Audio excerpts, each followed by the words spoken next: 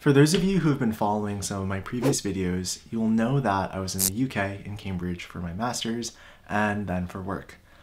And now I'm back home in the United States. I think I left at a pretty good time regarding the whole COVID situation in the UK um, that's currently happening, and I also needed to put some distance between myself and Cambridge personally. So I'm back in my room at my parents' house, and I have some time before I start my new role as a data scientist for Merck. It's a large pharmaceutical company, and I'll be moving to Boston, but that'll be a separate video. So now that the whole job search process is over and I can put on my 2020 hindsight vision glasses on, I wanted to make a mini series documenting the steps I took and what I realized during the process of becoming a data scientist. So getting a data science job is, is hard, full stop.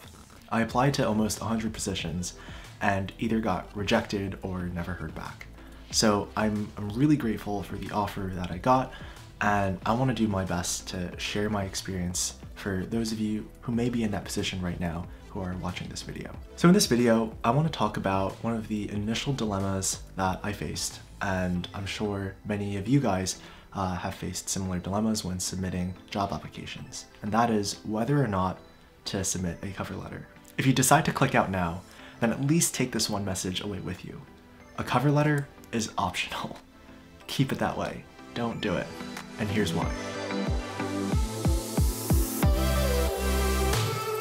I've distilled three reasons why you shouldn't, and I'm calling them the three A's.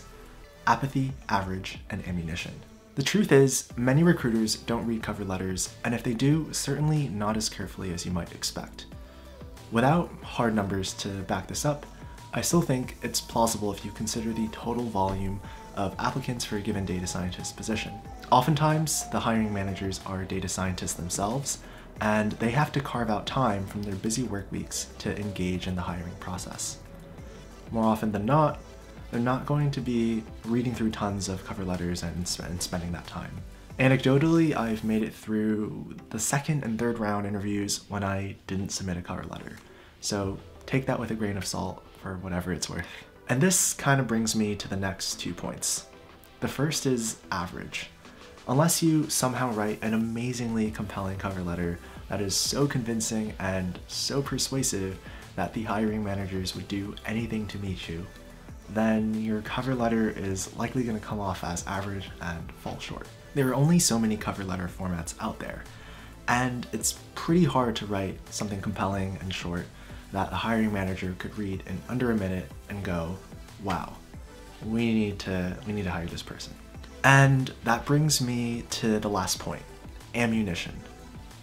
A less than stellar cover letter will only provide ammunition for hiring managers to highlight your weaknesses and find reasons not to hire you. When companies post a data scientist position, they often have a very specific ideal candidate in mind already. One with a specific set of skills who can solve a specific set of problems that the company is currently facing. Use the resume to allow recruiters to fantasize about you as an ideal candidate. A cover letter, more often than not, will highlight that you're not actually the perfect candidate that they want. And even if you aren't the perfect candidate, your goal should be just to make it to the next round of interviews where you can actually talk about, um, you can actually talk to the hiring managers and, and show some of your soft skills and how you can be a good fit for this role and for this company. So that's it. I want this advice to be short and sweet. Don't write a cover letter. It's risky. I mean, you can. No one's gonna stop you, but just be aware that you're going to have to write something extraordinary. And also keep in mind, writing cover letters can be time consuming. You want to apply to lots of jobs because, in some sense, this process is a numbers game. So save yourself some time, keep applying, and your skills and experience will be wanted by someone. I promise. Don't give up, and best of luck. If you thought that content was useful, please leave a like and subscribe to see the rest of the mini-series where I'll be covering the resume building process and the interview preparation process. And I'll see you guys in another video soon. Peace.